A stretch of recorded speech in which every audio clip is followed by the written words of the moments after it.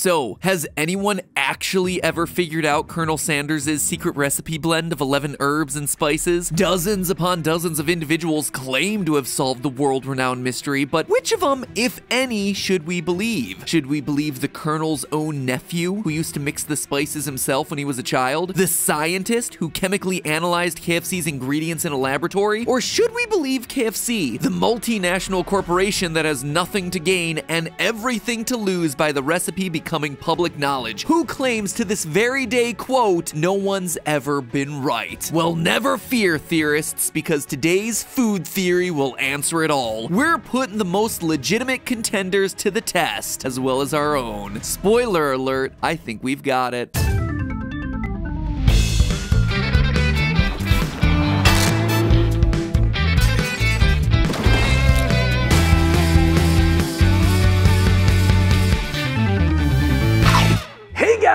Welcome to Food Theory, where today we're doing something very scary, actually cooking. Cooking food. Oh my gosh. And not just cooking any food, we are cooking perhaps one of the best kept secret foods in all of history Colonel Sanders' secret recipe. Yes. What do you think the secret is, Matthew? I think the secret. The secret is love. Oh man. And I here I was thinking it was just like little clippings of his beard that had fallen into the chicken batter. So I think everyone can agree that KFC's 11 infamous herbs and spices are one of the most renowned secret recipes in food history. And we've found a lot of different recipes that say that they've cracked the code. And today we're gonna put them to the test. Yeah, so we have five different dupe recipes that we're going to be trying today. Um, some of them are crowdsourced, some of them come from food scientists. And some of them even come from Colonel Sanders himself. Ooh. Question mark. Let's get going. Yeah, there's a lot to cover today and a lot of chicken that needs to be fried, so let's stop throwing our bowls around and start cooking. As we throw our bowls in the ring, it's important to keep in mind that recreating KFC's original recipe is a bit like hitting a moving target. People have been trying to get the recipe right since before I was born, and during that time, the taste of KFC's chicken has changed to a certain degree. The secret 11 herbs and spices almost certainly haven't, but we know for a fact that KFC has tweaked other aspects of the recipe and preparation process, like adopting new frying oils that contain fewer trans fats. Even the late Colonel Sanders believed his recipe was altered to a noticeable degree during his own lifetime. Shortly after selling Kentucky Fried Chicken in 1964, he began voicing displeasure about perceived recipe changes being made under KFC's new ownership. As a result, some of the recipe contenders we're looking at today seek to recreate the Colonel's true original recipe before KFC corporate took over. Other recipe contenders seek to recreate the taste of KFC's original recipe the way we've come to know and love it in more recent decades. In recent years, KFC has adopted soybean oil as its frying oil of choice in many locations, especially here in the US. Since we'll be comparing our recipe contenders against contemporary KFC chicken fried in soybean oil, we're gonna fry all of our contender recipes in soybean oil too. Last thing I'll mention, it's well known that KFC fries their chicken in pressure fryers, which not only fry the chicken faster, but also give KFC's fried chicken its distinct extra crispy texture. Sadly, I didn't have one of those in the kitchen, so today's contender recipes are gonna have to settle for the deep fryer. Steph and I promise to judge them not on texture, but taste and taste alone. And also, to be fair, our chicken totally turned out crispier. Just saying. Now, without further ado, let's put our first contender to the test. This recipe was developed by author and TV host Todd Wilbur. So Todd Wilbur, for those who don't know, is actually famous for recreating famous recipes. He's done the Big Mac, he's done Wendy's chili, he's done a whole bunch of secret famous recipes that you shouldn't technically be able to make at home, including the KFC original recipe. Do you really need someone to recreate the Big Mac? The commercials tell you what's in it. Two all beef patties, special sauce, lettuce, cheese, pickles, onions, and a sesame seed bun. Well, there's Two the all beef patties, sauce. special sauce. Special sauce. What's that? Isn't it just Thousand Island dressing? I don't. Sh- what? He's also done Mrs. Fields cookies. Anyway, I thought that was interesting. That does sound delicious. I know. I love this man. Why can we hire him? If- I feel like this is a person who should be on this channel. He's already a best-selling author who's been on like every major talk show. He doesn't need us. But has he been on YouTube before? We can poorly animate a stick figure of him for years. that does sound like a high value proposition. We should call him. We should. Call us up, Todd Wilbur. Well, let's see how his recipe works out first and then decide. All right, yeah. Okay. Good, good point. Now, the reason we're starting with this recipe is because Todd Wilbur, on top of being a guy who's talented enough to have made a career out of hacking recipes, really seems to have done the legwork to get the recipe right. In 2011, Wilbur's TV show Top Secret Recipes visited KFC's pressure fryer supplier, and Wilbur spoke with a friend and business associate who knew the Colonel personally. Tellicherry. What's a tellicherry? T L C G R I. Tellicherry pepper. It gives it the aftertaste. This, of course, was on top of Wilbur's own research and trial and error efforts. But perhaps the most useful thing of all is the fact that Wilbur's findings were adapted into a full blown step by step recipe. The same cannot be said for certain other contender recipes in today's episode. Seriously, some of them are basically a list of ingredients without quantities or anything. Fun fact this ingredient is completely verboten in our household. Stephanie had a traumatic experience as a kid with black pepper. Completely banned. So, this is actually the first black pepper that I've had in over a decade because I've been married to Stephanie, it's true. pretty much. Not even on salad or pasta. Nothing. Not Nope. even in soup. We just don't use black pepper here. Nothing. Sir, say when. Remember, sir, you can say when. When the brining, dredging, breading, and frying were finally complete, it was time to put Todd Wilbur's recipe head to head against KFC's original. Should we do KFC first? it's delicious. Virgo. Mm-hmm. I definitely get some of the pepperiness. I definitely get some sort of aromatic something in there, but I don't really know what it is. And salt. It's funny. For 11 herbs and spices in there, not getting a lot. I'm mostly just tasting pepper, to be honest. Yeah. I'm getting pepper. I get the pepper on the back end, mm-hmm. but I'm All not getting a big spice mix. Interesting. Let's All right, taste Todd. Todd. Shall we? Here we go. All right, here we go, Todd. This is the man who literally wrote the book on secret recipes. Counting on you. Oh, we made great fried chicken. Wow. Wow. Mm. So yeah, first impression. Our fried chicken is great. Good job, Steph. It's Steph. so good. It's so good. I'm so happy this right is now. great. I'm. Wow. The flavor is the thing that matters.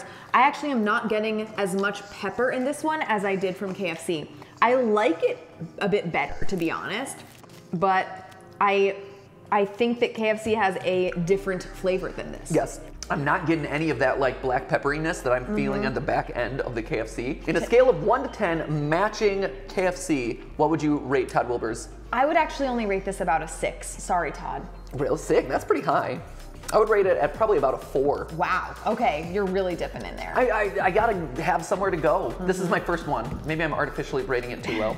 I tried to aim for the middle, so I had room on either side. Now on to recipe contender number two, which isn't exactly a recipe per se, it's actually a lab result, published by author William Poundstone in his 1983 book Big Secrets. That's right, this guy had a laboratory conduct a qualitative analysis on a sample of KFC coating mix in order to identify every ingredient that's present. What's noteworthy about Poundstone's findings was that the lab didn't find 11 herbs and spices. Not even close. In fact, the lab results identified just four ingredients total flour, salt, black pepper, and MSG. Yeah, Poundstone verified that the seasoning mixture he tested was the only seasoning involved in the preparation process. No, there was no additional substance found in the entire sample, not a single grain. And yes, the lab was able to identify every single ingredient present in the sample. So, according to Big Secrets, there are just three seasoning ingredients mixed into KFC's breading flour. That is a far cry from the 11 herbs and spices, especially considering that salt and MSG aren't technically herbs or spices at all. Steph, I know that one of the things that you and I have always talked about with food theory is that we've wanted the ability to analyze recipes in a lab setting. Oh my gosh, I want to send everything through a mass spectrometer. Yeah, if any of you have access to a mass spectrometer, hit us up. We want to actually tap into the secret recipe of Diet Coke and other things. Yes. We promise we'll give your institution a shout out. So if there are any universities out there that need some shameless self promotion, we are here to be shameless for you.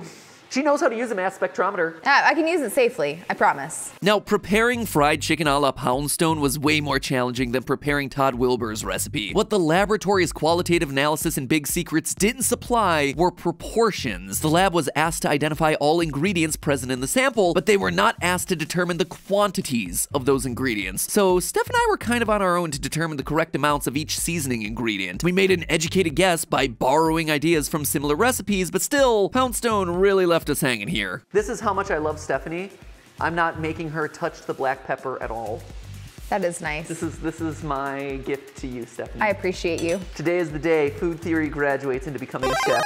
Oh, food theory, you're growing up into a legitimate ah. recipe channel. Andrew from Binging with Babish, we're coming for you. Binging with Babish. Not at all. Watch out, here comes food theory.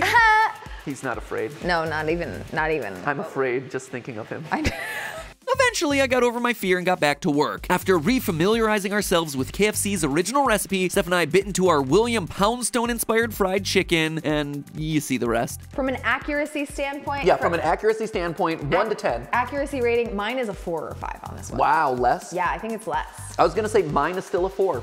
It is about the same level of accurate. You got that saltiness in there, but congratulations, you got flour, which is how you make fried chicken. Yeah. But yeah. All right. All right. Next. Now, to be fair, Poundstone's laboratory test was performed nearly 40 years ago, and KFC's original recipe may have changed slightly since then. Also, Steph and I probably guessed a bit wrong on the ingredient proportions, but hey, that's kind of on old Poundstone. Next up, the fried chicken seasoning that sounds like it was someone's handle in a game of laser tag 99X. This one's actually really fascinating. So, Colonel Sanders apparently was so disappointed with the KFC Corporation watering down his recipe or the instructions that they were giving out to franchisees of the name that he went to an external company, Marion-Kay Spices, and said, Hey, make me this spice recipe. And then he encouraged all the people who were doing KFC restaurants to go with this spice recipe. Yeah, it's actually here. It's bottled. You can buy it to this day. Yeah, you can buy it, but it has to go by the name 99X because the KFC Corporation got into a lawsuit with these guys to basically be like, hey, stop it.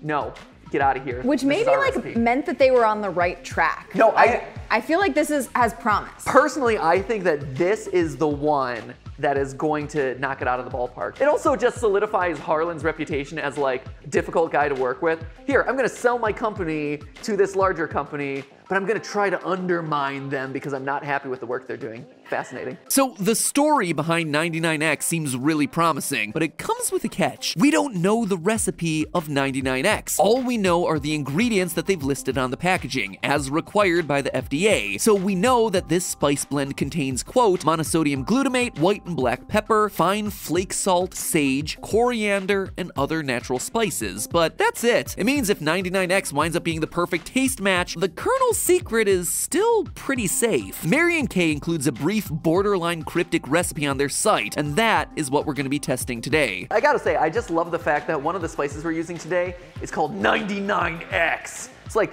the hardest core kitchen spice ever. Right? So clearly you can see a lot of black pepper in there. It smells really good. It's actually super fragrant. I'm shocked at how little spice that you actually need in fried chicken to make it taste good. That's probably been the biggest shock to me as we've been working on this so far. It's, look at it, there's like nothing in here. Nothing. It's all just much flour. Marion-Kay's recipe was a cinch to make, and we were ready to put 99X to the test in no time. As always, we tasted KFC's original recipe chicken first, then the contender. Ready? This one is actually much closer. Mm-hmm. And there, it's not like too anything. It's not too salty.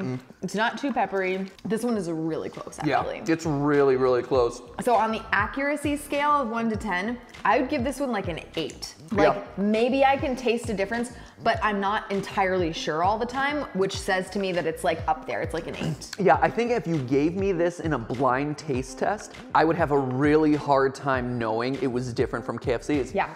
I think the 99X, without question, is the closest that we've done so far. Yep. It also might be my favorite so far. It is my favorite so far. Yeah, I really like Yeah. this one. I would recommend that recipe above the other two, partially because it's so much easier. There's just, you buy one ingredient and you're kind of done. Yeah. And then it came out great. This one is also super crispy, Yeah. just throwing it out there. So the one thing that I would love to have seen with this actually is this mixture, but with the 99X cranked up a little bit, with the ratio a little bit higher in the spice category. With just a little bit more, I feel like it would be like a 10. Yeah, I feel like you could get it right there because right now it's just a little bit more subtle than what I'm getting out of the KFC. You know what though? I'm not sure I would like it better if you did. I like this one a lot. Hmm, It's really good. like better than the KFC. Like the, Ooh, really? the- I like the first one better than the KFC too. I just I really like fried chicken. I Steph, guess. Steph is throwing KFC under the bus. I know, sorry, man. Now, the story behind our next recipe contender also seems really promising. In 2016, the food world got rocked by an article in the Chicago Tribune. Joe Ledington, the nephew of Colonel Sanders himself, came forward with this handwritten recipe found in an old scrapbook passed down to him from his aunt Claudia Price, who was Harlan Sanders' second wife. While the note is not written in the Colonel's handwriting, Joe claims it contains the correct ingredients and proportions for the Colonel's secret blend. And Joe should know. He actually worked at Harlan's Diner when he was a kid and claims to have even mixed the blend of herbs and spices himself. Now, the Chicago Tribune tested this recipe themselves and determined that the capital T's on the recipe refer to tablespoons, not teaspoons. They claimed the recipe tasted quite similar to KFC's original recipe as written, but when they took the liberty of adding MSG, the recipe became, quote, virtually indistinguishable. So we took their word for it on both fronts. We went with tablespoons and we added MSG. The Chicago Tribune also prepared their chicken with a buttermilk egg bath instead of the skim milk egg bath that we've been using thus far. Since their results wound up being virtually indistinguishable, we followed their steps to the letter. This is a lot of seasoning relative to all the other recipes that Yeah. we've done. This is a lot. The ratio of flour to seasoning is much different. Four, wow, four tablespoons of paprika. This is gonna be a really spicy chicken. Right? Wow. It's gonna be a really intense recipe. This is so vastly different from all the other recipes we've done so far. It's literally a completely different color than all of the other chicken recipes. It's wild. It's red, it's yellow, it's brown. You can actually see the seasoning in there. I'm most excited about this one. Me too. This one's gonna be good, I think. The recipe calls for 4 tablespoons of paprika, which makes for a much darker breading than we found in the previous recipes. I promise that color's not from staying in the fryer too long. It stayed in the fryer the exact same length as every other one of these tested. And also, the breading had a really nice consistency when it hit our mouths. Okay, so Matthew, here's what I'm gonna say about this, Yeah. which you will probably not find relatable. Okay. But growing up here in North Carolina, Yeah. I used to occasionally go to like mom and pop places where they would serve like mom and pop fried chicken. Sure. It looked darker, Sure.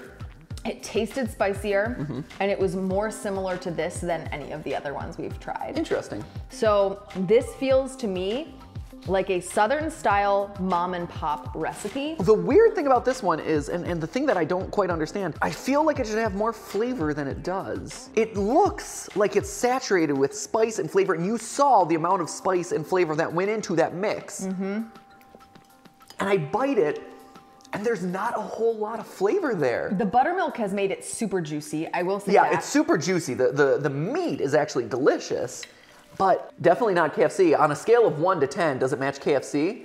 It's like This is like a three. like two. Yeah. Because I was rating it at four before. The Yeah. other ones do a much much better job. I can't believe it. these results. Actually, I'm I'm shocked. Now, it's important to keep in mind that if this recipe is indeed authentic, it could very well date back to the 1950s or even 40s when the Colonel was still developing the recipe. It could be an example of the Colonel's true OG recipe the way he intended it, before KFC corporate got their finger licking fingers in the mix. So the fact that it doesn't match the look or taste of contemporary KFC chicken should be taken with a grain of MSG. Something similar could also be said for our next recipe, known as TC34D. It also seeks to recreate the Colonel's OG recipe, as opposed to the fried chicken sold by KFC corporate today. But what you need to understand about TC34D is that it's a recipe meticulously, and I do mean meticulously, crafted by the internet hive mind. If there is a secret, the internet will find it and tear it apart and solve it. And so you had a group of devoted KFC fans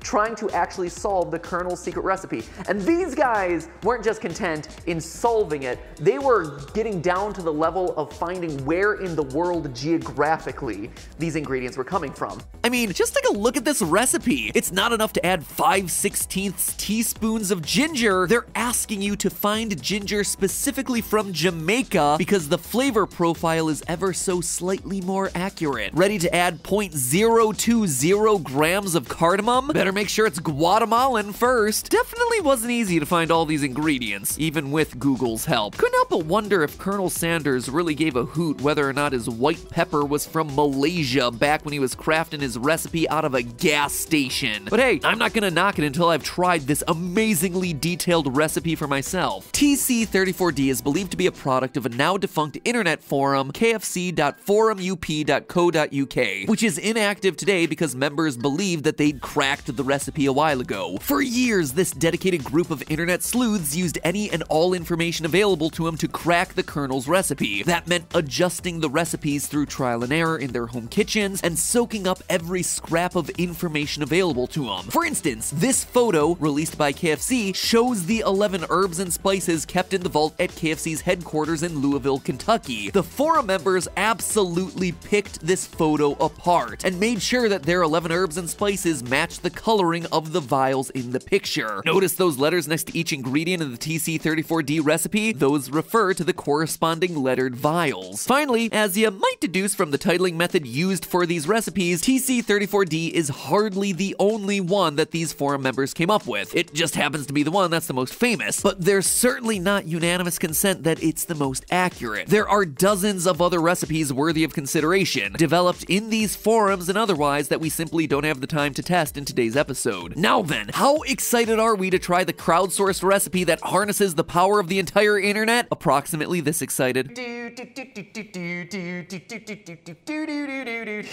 Terrible. I'm so sorry. Plop. Folks, this recipe calls for Tahitian vanilla bean. How could you not be excited about this? So after tasting KFC's original recipe, we took a bite out of TC34D Nope. No, No, this does not taste the same at all. not even close. There's like more ginger. Not even close. There's more Internet. paprika, which I can taste those things first of all, mm-hmm. which means they're not accurate. But No, right? all right. I feel mean, like- it, it's tasty actually, but it's a very different fried chicken. Oh, yeah. Team Internet, Super wacky. what you doing? You guys, you are so, they're like, it's gotta be Jamaican white pepper. Maybe I should have just focused on getting the 12 herbs and spice, 11 It's herbs and almost spice like there. people who do analysis on the internet overcomplicate things. They ask you how you are, you just have to say that you're fine. So Stephanie, when it comes to crowdsource on a scale of one to 10, what's the matching for KFC? It's like one. Sorry, guys. Right? Like it, it wasn't, Sorry, it I wasn't at swear. We followed your recipe. We wanted it to, like we are on Team Internet. We we root for Team Internet. Yeah. This was just not this was just not our day. Yeah, the group think was not really working. I would say, yeah, maybe it's a maybe it's a two, maybe it's a one. It's low. Right. The sweetness is the thing that The vanilla. what are you doing in there? the vanilla really threw it off. Now, it bears repeating that TC34D's aim was attempting to recreate the Colonel's personal, pre corporate version of the secret recipe, so the goal of the recipe wasn't so much to match the taste of the contemporary KFC chicken, but I gotta say, the taste of TC34D was just so, so different. Not bad, it was really tasty, but to me, it just didn't seem related to KFC's original recipe fried chicken in any discernible way. Tahitian vanilla is really sweet, and that sweetness really came through in the recipe in a way that didn't really match my expectation of what southern fried chicken usually tastes like. So it leaves us with a very clear winner in Mm-hmm. terms of the matching potential. The 99X very clearly took it by a wide margin. So does that actually solve the problem? Because the whole problem here, right, is that it is a secret recipe, and we've solved that secret recipe using a secret spice. So, okay, it solves the, it doesn't solve it in actuality, but it does solve the problem, which is that you can't recreate KFC original recipe at your house. Actually, you can get very close, where you take it, you run with it, and you can recreate KFC at home. However, there is one final ingredient that we have to test. Recently, KFC and all their marketing craziness decided, hey, why don't we release a telenovela romance called A Recipe for Seduction starring Mario Lopez as Colonel Sanders. We actually cover this over on Film Theory today, so if you haven't seen that episode, check it out. There's an iCard. There's an There's, iCard. there's an somewhere. iCard in one of the corners. Somewhere. Probably this corner. Yeah, probably that one. Probably this corner. and in A Recipe for Seduction, there was something that we thought might be a hidden code, alluding to a secret ingredient that none of these recipes cover. Every time that Colonel Sanders is cooking in the kitchen or whatever, he is associated with citrus, some sort of magical bowl of citric fruit out there. It's very odd. Again, we go much deeper in depth in this on the film theory episode, but we wanted to test it out. We're like, is citrus the secret ingredient that KFC is trying to communicate to us via their telenovela made for TV special starring Mario Lopez? You never know. We just leave no stone unturned and wanted some more fried chicken. Okay, I know this sounds outrageous. Like, is MatPat honestly expecting you to believe that the Colonel Sanders put fruit in his recipe? No, but KFC corporate did, long after they purchased the company from the Colonel. Remember how KFC started using soybean oil in order to cut down on the trans fat? Well, citric acid, the chemical that gives citrus fruits their distinct sour taste, can be added to soybean oil to make it last longer. And that's exactly what KFC has started to do in recent years. They even say so on their website. Now, citric acid has a strong taste. Is it possible that it affects the flavor of contemporary KFC chicken, even though it's just an additive to the oil and not an explicit ingredient in the recipe? Was a recipe for seduction trying to tell us something by jamming over 70 fruit cameos into a 16 minute mini movie? There's only one way to find out, friends. So here we go, friends. This is our final batch of fried chicken. This is the 99X recipe plus the secret ingredient of citric acid from the telenovela A Recipe for Seduction. First, we tasted KFC's original recipe one final time before moving on to the grand finale. This is it, with citric acid. Wow. Hmm. Is that the secret ingredient? Am I imagining that it tastes a little bit closer? It does taste a little bit closer. It tastes a Is it a nine closer. now? I think I, I think this bumps it up to a nine. I think this is it. That can't be. Really? Mario Lopez wouldn't lie. Because it does taste just a little bit closer. It does. It does. It is slightly closer. Are we making it up? No, I don't think we are. No, it's got. I don't know. What? it's weird. It is very strange, but I thought this was gonna be such an anticlimactic episode and we were gonna get there and be like, nope, no difference. Mm-hmm. But I swear it's a little closer. it is. Yeah. Yep. wow. No way. There it is. Huh. That's fascinating. I think that we've stumbled across it. I think if you take the 99X recipe, you crank it up just a little bit, Add a little bit more than, yeah. a little bit more than the ratios in the recipe that we got online, plus a little bit of citric acid from Recipe for Seduction in the oil, I think you got it. This is KFC. I think you have made KFC. It's real good, guys. It's great. I really recommend trying it at home. If- If you don't have a deep fryer, I think you could achieve very similar results with a pan fryer. Yeah, pan fry. I think that we have probably gotten as close as humanly possible to the KFC secret recipe without actually getting access to the KFC secret recipe. I'm I'm pretty convinced too. I think this is it, guys. We What a successful episode. This was great. Successful in many ways. So there you have it, friends. The KFC secret recipe 99X plus a little bit of citric acid. Who knew? Who knew? We did. Yeah. Or at least we just found out. that's just a theory.